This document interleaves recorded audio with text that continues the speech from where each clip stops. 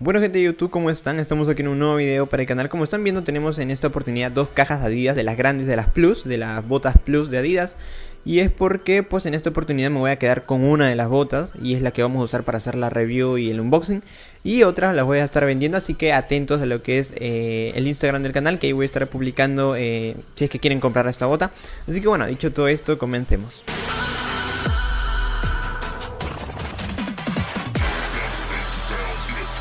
Ahora sí, empezando con lo que es ya la review y el unboxing de estas botas, quiero que vean que ambas cajas traen prácticamente el mismo contenido. Pueden ver acá que en esta caja tenemos unas X19 Plus y pues por el otro lado tenemos exactamente lo mismo. Quiero que vean para poder quitar una caja porque la verdad que son bastante grandes, como pueden ver ahí. Pues tenemos unas X19 Plus en ambas cajas, así que ahora sí voy a poner una caja por acá abajo porque la verdad que me, ocupa bastante espacio, quieran o no, me ocupa bastante espacio. Bueno, ahora sí vamos a empezar con el unboxing de estas maravillosas botas. Estas botas, la verdad que yo le tengo bastante expectativas porque es una de las botas que siempre he querido. Y pues ustedes sabrán porque ya tengo unas acá que son las Ghosted, pero quería ver la, la generación anterior. Sobre todo este color que es exactamente de este pack, del Encryption Pack. Pues a mí eh, en lo particular me gusta bastante porque eh, me gusta ese tono militar, ese color que tiene la bota. Y como pueden ver, eh, empezando por el packaging, es una caja grande de las tochas, como pueden ver.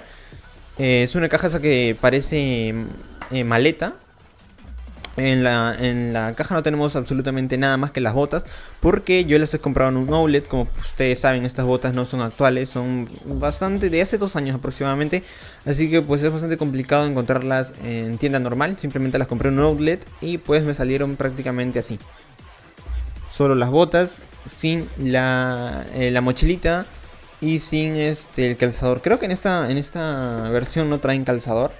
En este caso solo sería sin la mochilita. Así que bueno, vamos a, tapar esto para poder dejar la caja por acá. Y ahora sí vamos a empezar con la review de estas maravillosas botas. Vamos a empezar por lo que es la estética, que como pueden ver son unas botas recontra agresivas, son unas botas que tienen una silueta muy pero muy agresiva. Por donde ustedes lo vean es una bota bastante Tú la ves y dices, wow, qué bota tan... Tiene una silueta bastante eh, minimalista. Como ustedes pueden ver es una bota plus, es una bota sin cordones. Y ahorita que la estoy tocando, a ver, vamos a quitarle el papel que tiene acá adentro. Siempre traen papel, no sé por qué. Esta también trae papel, así que vamos a quitarle el papel. Porque el papel siempre molesta, no sé por qué le pondrán papel. Aunque creo que es para que simplemente mantenga su forma. Como pueden ver, la carcasa es un poquito más rígida que lo que tenemos en las Ghosted. Y pues no sé, pensé que iba a ser un poquito más más suavecita porque bueno, teniendo en cuenta que es la generación pasada creo que está bastante bien. Y pues no le veo nada del otro mundo a esta bota a primeras impresiones porque nunca he tenido una en mis manos. Pero lo que sí noto bastante es que vamos a tener bastante grip porque prácticamente en toda la carcasa tenemos como que estas lineecitas o estos pliegues que como pueden apreciar nos van a dar eh, bastante grip. Escúchenlo por favor. O sea, no es un grip exagerado, pero es un grip considerable en toda la carcasa. Porque si aprecian bien, tenemos eso, eso ese relieve o esos pliegues en absolutamente toda la carcasa. Incluido eh, en la parte de acá, que es en la parte del empeine. Y algo que me está llamando bastante la atención es que el empeine no cede para nada. O sea, esta bota, como dicen muchos, es bien o te queda o bien no te va a quedar. La verdad yo no me las he probado, pero espero que me queden. Si no, pues voy a tener que venderlas porque no quiero tener una bota que simplemente no me quede. Pero pues como tengo dos, eh, voy a tener la oportunidad de, simplemente poder quedarme con una. Así que si continuamos hablando con lo que es eh, la carcasa, podemos ver que es una carcasa elaborada en un material de microfibra sintética que se le denomina X-Lay Skin, como pueden leer en la parte de acá, dice X-Lay Skin, eh, que es prácticamente esta microfibra sintética que también por la parte interna podemos ver que tiene estas perforaciones que lo que van a hacer supongo yo es eh, hacer un poquito más blanda la carcasa porque de por sí en la parte de la puntera esto es bastante duro y creo que está bastante bien porque nos da todo ese se puede decir esa protección en la parte del pie. Obviamente en los laterales no mucho porque pues como podemos ver en esta parte ya es bastante dura o sea no cede mucho Y si esto es duro, pues se va a sentir horrible la zapatilla. Por eso que creo que está muy bien que hayan hecho esas perforaciones en la parte interna para que la carcasa sea un poquito más suave. Como pueden ver acá también tenemos ese sticker que nos va a indicar que eh, el cromado, bueno en este caso no es cromada la suela, tiene como que un acabado mate, o sea ese acabado mate se va a ir cayendo. Creo que eso ya lo sabemos, voy a pegarlo por acá. Y ahora sí, continuando con lo que es eh, funcionalidad, ajuste y todo eso, pueden ver que el ajuste es prácticamente nulo, no tenemos ajuste, o, sea, prácticamente todo el ajuste va a ser a partir de esto. Es decir, cuando tú vas a introducir el pie vas a forzar y esto es lo que te va a dar el ajuste. En caso tu pie entre y te ajuste demasiado, pues fuiste porque esto no va a ceder en absolutamente nada. Ya que es simplemente un pedazo de microfibra, un pedazo de, de knit, no es, knit no es, es un pedazo de, de plástico, por decirlo así, un plástico, un plástico un poquito eh, disculpen si me rasco cada rato la cabeza que tengo una pequeña herida acá y me molesta. Y como les decía, es un plástico bastante rígido, no es para nada, eh, o sea, no va a ceder para nada. Y eso es lo que me preocupa, porque, bueno, mi pie no tiene el empeine tan alto, así que creo que por ese lado me puede dar, pero igual como que me preocupa un poco. Luego, si pasamos a hablar de lo que es las partes internas, podemos ver que tiene una plantilla extraíble, como toda gama profesional, y en esta ocasión en la, en la plantilla viene ya incorporado este, esta etiqueta que como pueden ver indica la talla de la bota. Y es algo curioso porque nunca había visto, o sea, nunca había visto esto, que la, etiqueta venga así, por decirlo así, cosido en la, en la plantilla. Pero supongo que es, eh, bueno, nunca he tenido una bota así, pero supongo que es así porque pues lo he comprado en tienda, así que no creo que sean unas réplicas. Algo muy curioso es que yo no sé muy bien identificar unas réplicas y unas originales. Pero justamente por eso siempre compro en tienda para evitarme esos problemas. Como pueden ver, esta plantilla eh, tiene un acabado antideslizante bastante... O sea, tiene bastante, por decirlo así, gamusita. Y me gusta bastante porque se nota que lo han trabajado muy bien, se siente bastante acolchonadito. Y otra cosa es que tenemos perforaciones. Y también tenemos eh, este, esta leyenda que dice un lash speed y también el signo de X.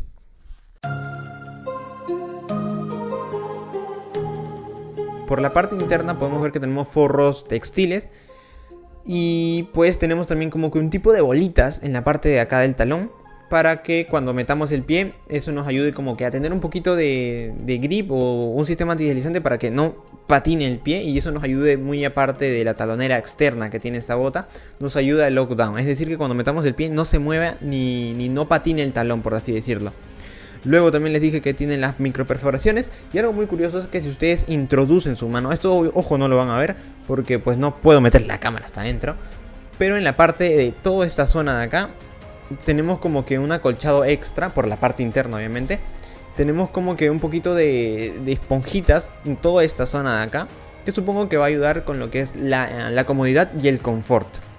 Luego si hablamos de lo que es la placa, podemos ver que tenemos el, el speed frame que es prácticamente la placa que, se usa actualmente también en las, en las X-Ghosted, que como pueden ver es una placa hecha para velocidad. No tenemos ningún taco cónico, solo en la parte, de, la parte del talón, que es para poder darnos rotación en la parte del talón y creo que está muy bien empleado.